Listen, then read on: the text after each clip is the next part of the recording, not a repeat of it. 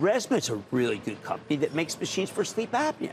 Right now, people are using Ozempic, and that is Novo Nordisk drug for sleep apnea. It hasn't been approved yet, but it's thought to work against sleep apnea because, like many healthcare problems, it's partially caused by obesity. Lilly has a study for it that's expected to be completed in March. Now, given the surprise kidney data for the GLP 1s, money managers don't want to wait around for the official news that the drug also combats sleep apnea. So ResMed gets clubbed. We know that some of these growth, uh, the, some of the growth from a really great company, Intuitive Surgical, ISRG, comes down to this bariatric surgery for weight loss.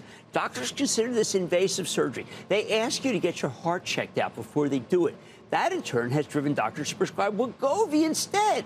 In a recent conference call, Intuitive Surgical admitted that it's already hurting their growth. It's just a tad slower, but anything that shaves numbers down on a high price earnings multiple stock is the kiss of death. No one seems to wait around to see if the medical device stocks would be impacted. What if there are fewer heart attacks? Time to sell Boston Scientific, Medtronic, and even J&J. Again, money managers don't want to wait around for the next press release about how these drugs are great for your heart. Doctors will tell you that if you're a heavy drinker, you should be taking this class of drugs because they stop the craving for liquor the same way they stop the craving for candy. Is there any under any other reason, any wonder that Brown Forman, the maker of Jack Daniels, has seen its seen its stock just get obliterated? Institutions don't want to wait for definitive proof. It's too late. They got to get out now. Which brings me to the point of the story.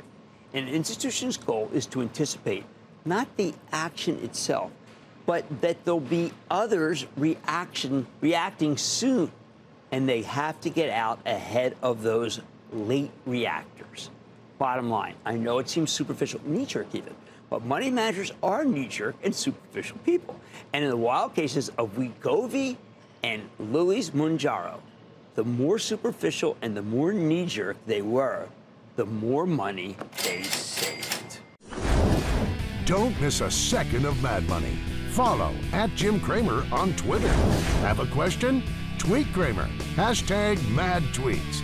Send Jim an email to madmoney at cnbc.com or give us a call at 1 800 743 CNBC. Miss something?